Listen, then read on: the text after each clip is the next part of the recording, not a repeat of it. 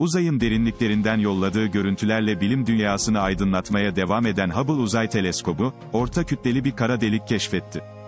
Büyük bir yıldızın çökmesi sonucu oluşan, kara deliklerin evrimindeki eksik halka olarak nitelendiriliyordu.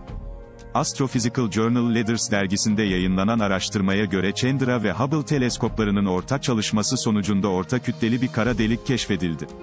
Yıldız kütleli kara deliklerin birleşmesiyle oluşan kara delikler, bilim dünyası tarafından kara deliğin evrimindeki eksik halka olarak nitelendiriliyordu. Gökbilimciler, geçmişte bu türde kara delikler için aday cisimler bulmayı başarmış olsalar da, keşfe imza atan New Hampshire Üniversitesi'nden bilim insanları, yeni bulgunun evrende orta büyüklükteki kara deliklerin varlığının en ikna edici kanıtı olduğunu söylüyorlar.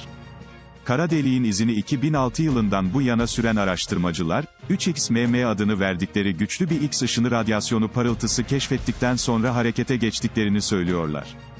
Kara deliğin izini 2006 yılından bu yana süren araştırmacılar, 3XMM adını verdikleri güçlü bir X ışını radyasyonu parıltısı keşfettikten sonra harekete geçtiklerini söylüyorlar.